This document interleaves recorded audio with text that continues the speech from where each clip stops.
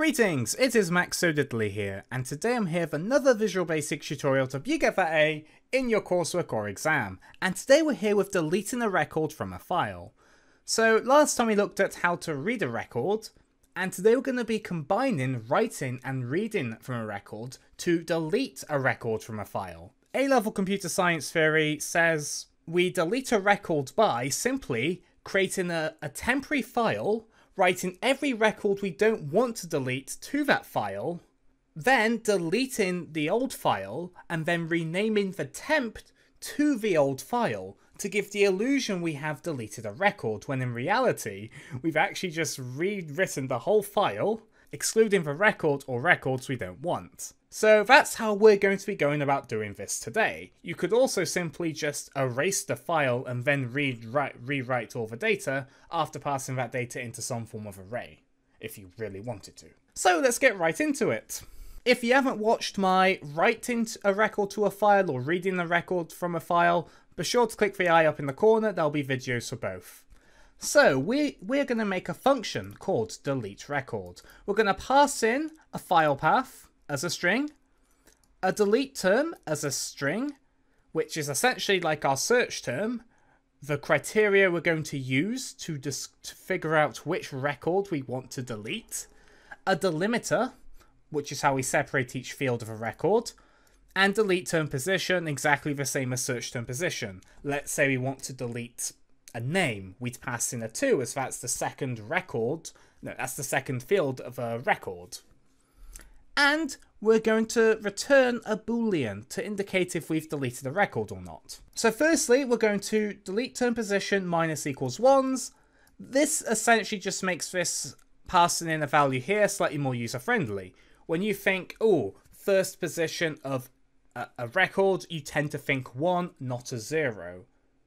So that's why we're simply doing it. If you really don't like that, you can make the, the user pass in a 0 or a 1 to represent the first or second fields of a record. I choose not to, hence why I do the minus equals 1 here. Then we're going to make a variable called deleted record and set it to false, because by default when you open up a file, you haven't deleted a record yet. We're going to create a temp file variable called temp.txt, and we're going to do current line as a string. After that, we are going to do a try and a catch, as exception, and we're going to print out the exception, which is EX. Try catch, try a bunch of code. If something goes wrong, execute what's in the catch and move on. If nothing goes wrong, you just go through all this code and then you move on. And at the top of our try catch, we're going to create a file reader and a file writer, as we are going to read from a file and write to a new file. We're going to do dim file reader as new system.io.streamreader, and then we're going to pass in file path. This is going to be the file which has a record we, we want to delete. So we want to be able to read all the records from the file. Then we're going to make a file writer. As new system.io.streamwriter, then we're going to pass in temp file and then true. So pass in temp file because we want to write to the new temporary file. And we're passing in true here because if we pass in false, Every time we write to this file, we're going to overwrite it. When we want to add records, we want to append to the files, hence why we pass in a true. Then we have a do while loop. And this do while means if there's a line left in the file to read. So we do current line equals file reader.read line. Set the current line variable to whatever the next line is. Then we create a current record, which is an array, and it's going to be a string. And we're going to split each field of that line and give each field their own array element in this current record array and we're going to determine how to separate fields by our delimiter.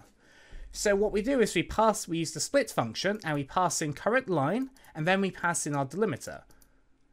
So we know how to split this whole string into a string array.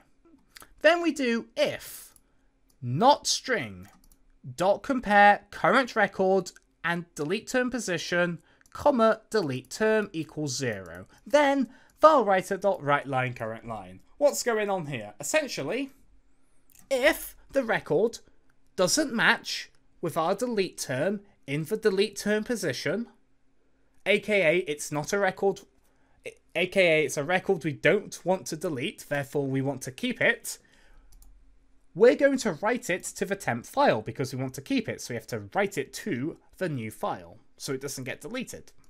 If this becomes true, because we put a not here, and when in Visual Basic, if you put a not before a statement, you're checking for the opposite. So essentially, this means this is basically if this is false. Therefore, if it's true, we want to delete the record. And by deleting the record, we simply just don't write anything.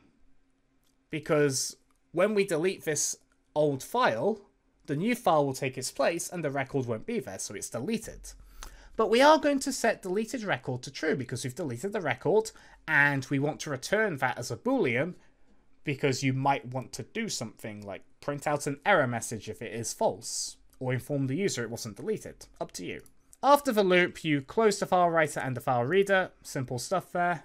Then after, we want to delete the old file.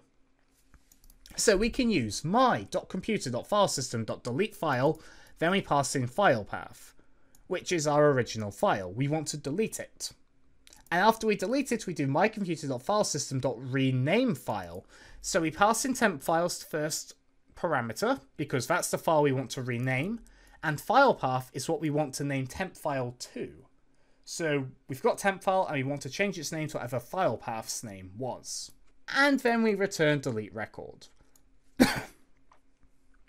and that's it. So let's have a look at our file. For Visual Basic projects, go to your bin debug folder, and this is where you can find your file if you choose not to have any, any folder specifications in your file path.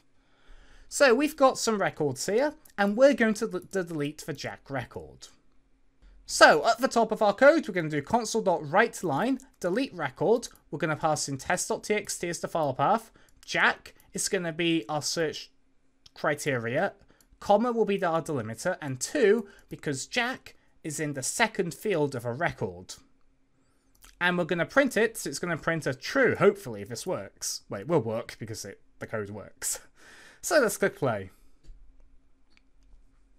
As you can see, it returned it printed true, so it clearly must have worked.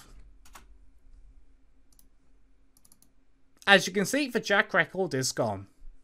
Let's test this again, but with the ID criteria, and we're going to delete Andy's record. So we need to change the search criteria to 1 because the ID is the first field of a record. And it prints true. As you can see, Andy's record is gone. So guys, thanks for watching. Be sure to leave a like if you enjoyed. If you've got any queries or suggestions, be sure to leave a comment down below and subscribe. I will be completing this Visual Basic series where we cover validation and file handling to help you get that A in your exam or your coursework. So be sure to subscribe if that interests you. Thanks for being a great audience.